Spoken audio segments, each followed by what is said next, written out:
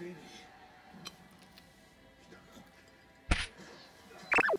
田はかつて映画で石田三成を演じた三成は優秀だが位が低く戦の経験も浅い百戦錬磨の家康とは張り合えない